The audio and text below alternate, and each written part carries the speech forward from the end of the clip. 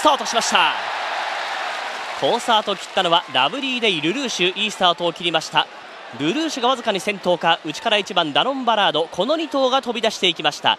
ラブリーデイ3番手その後10番アドマイヤラクティ4番手の追走。あとはウインバリアシオンが好位の一角となってナカヤマナイト、さらにはデスペラードが続いていきました。その後ろから接近するトゥザグローリーあとはトーセンジョーダン、タマモベストプレイゴールドシップは中団その後ろにオルフェーヴル。さあまずはホームストレッチへと入ってきます。今年先手を奪ったのは9番のルルーシュ。ルルーシュ福永祐一先頭。リードは1馬身半。2番手には3番のカレン・ミロティック。2番手に上がりました。3番手1番ダノン・バラード。外は中山ライト間はラブリーデイ。この3頭が広がって3番手4番手5番手。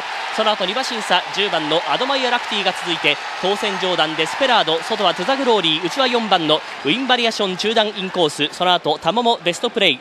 ゴールドシップオルフェーヴルは後方3 4頭目に続いてラブイズブーシェそして内からヴェルデグリーン最後方追走テイエムイナズマ 1000m 通過60秒8です。さあ2コーナーカーブにかかっていきます。逃げる9番ルルーシュリードは1馬身と縮まりました。3番カレン・ミロティック2番手の位置です。これから向こう正面に入ります。3番手は1番のダノンバラード。その外から中山ライト間はラブリーデイ続いて3馬身離れました。6番手には10番アドマイヤラクティ外からトーセンジョーダン。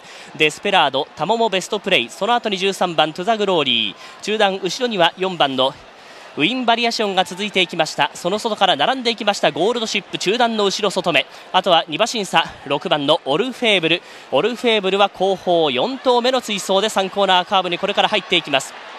2番のヴェルデグリーンがその後ろ11番ラブイズブーシェあとは5馬身ぐらい離れて12番のテイエムイナズマ最後方さあぐーっと16頭が凝縮してきました。残り600を通過して34コーナー中間。先頭変わった。先頭変わって3番カレン・ミロティック。先頭に変わる。リードを2馬身取りました。2番手1番ダノンバラード。外からオルフェーブルが動いていきました。外からオルフェーブルが動いていった。その後ろからゴールドシップ。あるいはウィンバリアション。さあオルフェーブルが先頭に変わって直線に向きました。オルフェーブル先頭だ。オルフェーブル先頭。リードを2馬身3馬身取る。ウィンバリアションが2番手に上がってくる。ゴールドシップ。外からベルトグリ。さらにはラブイズブッシャが追い込んでくる。抜けた抜けた抜けた抜けた。強い6番オルフェーブル。あっという間にリードを広げました。オルフェーブル圧勝ゴールイン。なんという強さ。全く問題にしませんでした。これが競馬だ。オルフェーブル完勝。ラストランを見事に飾りました。